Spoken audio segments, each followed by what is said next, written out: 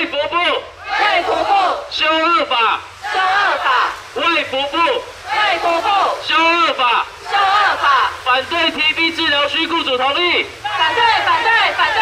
反对 TB 治疗需雇主同意。反对反对反对。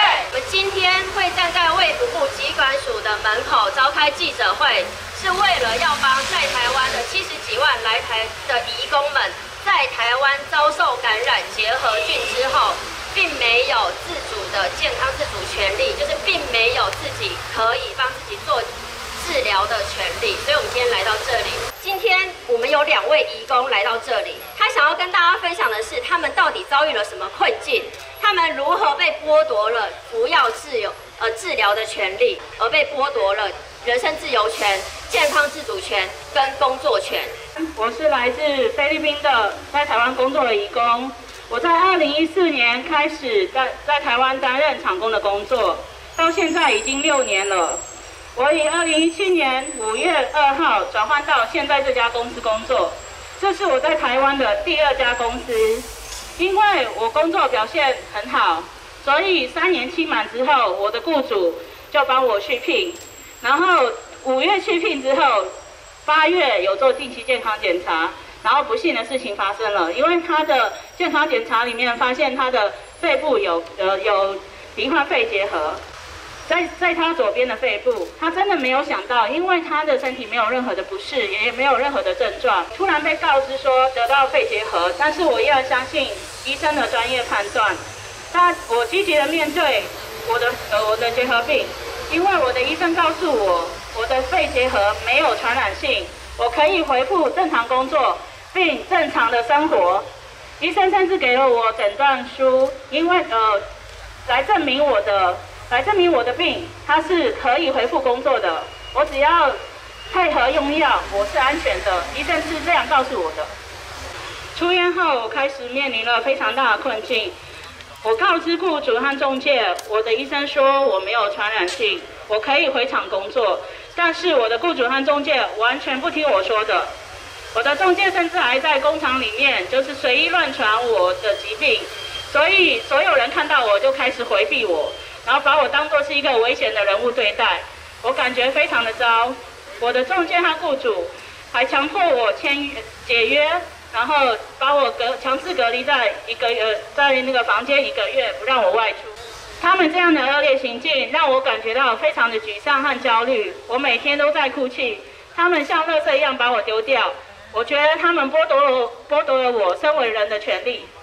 为什么他们只有选择听到我得了什么病，却不听医生说我没有传染性呢？我可以回去工作。我认为在台湾，我我是在台湾工作被传染了肺结核，因为我没有回菲律宾，而且我的家人也没有得到过这种病。我在台湾有缴健保费，我每年也依法缴交所得税。现在我最需要留在台湾治疗，健保可以提供我很大的帮助。我们的医生说我已经没有传染性，请让我可以留下来继续都接受都资计划投药治疗。我是来自菲律宾的义工，我来台湾将近六年了。我在二零二零年六月十八号，呃六月十二号转换到现在这家公司工作，这是我在台湾工作的第二家第二家公司。二零二零年八月十七号，因为我的尿道感染和肾脏肾结石发炎，所以我去开刀住院。那医院透过抹片检查，检测出我的肾脏组织有遭到结核菌感染，所以二零二零年八月二十号，我开始服用抗结核菌的药物。八月二十八号我出院，医生马上就可以说我可以恢复工作，我的病不会传染，因此我回到工作岗位，继续服药治疗到九月二十八号。九月二十九号下午，我的宿管人员打电话给我，叫我去开会。那我被吓到了，因为他们马上叫我签自愿离职解约书，然后他们说我得到了很严重的疾病，他们强迫我把我转移到其他的宿舍，在留在隔离室不可以外出，并要求我支付自己的上宿费，吃的我自己买，那个住宿费一天要付一千块。那个时候我真的不知道该怎么办。所以我感觉到公司的人都很讨厌我，我的中介也很讨厌我，他们对待我像对待垃圾一样，他们让我感觉到我在这一家公司是一个很没有用的人。我以前从来没有得到过这种病，我的家人也没有结核病史。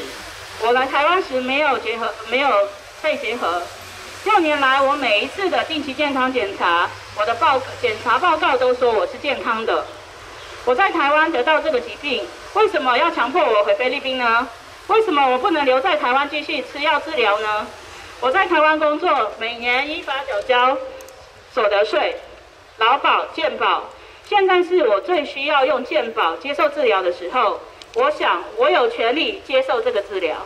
在外国人也是同样的，外国人健康检查办法当中第九条说，如果说有发现这个 TB 的话，你要减负三个文件，第一个文件就是诊断证明书嘛，然后第二个文件就是外国人要同意接受这样子，同意接受都治的办法，那第三个文件非常的不合理。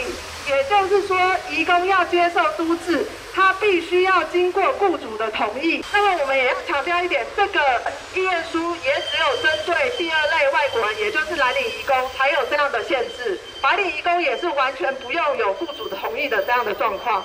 所以这里写说，本人同意协助所聘雇的外籍移工接受这样的都市计划。如果不同意的，如果没有这张的话，他后续。将被视为健康检查不合格，并废止聘雇许可。也就是说，如果没有雇主的签这张一同意书的话，外国诶蓝领的移工，他们不仅没有办法接受医疗的治疗，丧失他们的医疗权利之外，他们会因为这样子的不合格而被视为他们的健康检查不合格。在就服法第七十三条第一项，检查不合格的话，他们是会被废聘的。也就是说。他们也会因为雇主没有签这张，没有办法接受治疗，而丧失他们的工作权利，然后被遣返回国的。卫福部机关署为七十万、七十多万在台湾的第二类外国人订立了什么样的不平等条约？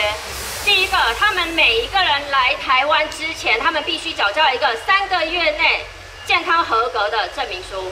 入境台湾之后三日内必须到医院接受健康检查，如果健康检查合格了，才可以留在台湾工作。在台湾工作满六个月、十八个月、三十个月，都一样要到健康中心去，就指定的医疗院所去做健康检查。只要他们的健康出了任何一点问题，就直接被送回国。疾管署只有针对这七十几万的移工。要求这么要求他们的健康，要求他们非常要健康、非常干净的，才能留在台湾工作。当我们所有的人只把移工当作是随时可替换的劳动力的时候，我们是不是真的有把他们当成一般人来对待呢？为什么我们今天要来到这里要求卫福不修这个办法？我特别强调它叫做办法。为什么我们今天没有去立法院？因为这个法，它并不是立法院所立的法，它其实卫福部做的办法，也就是卫福部他自己本身，他就可以去修改这个不合理的办法。好。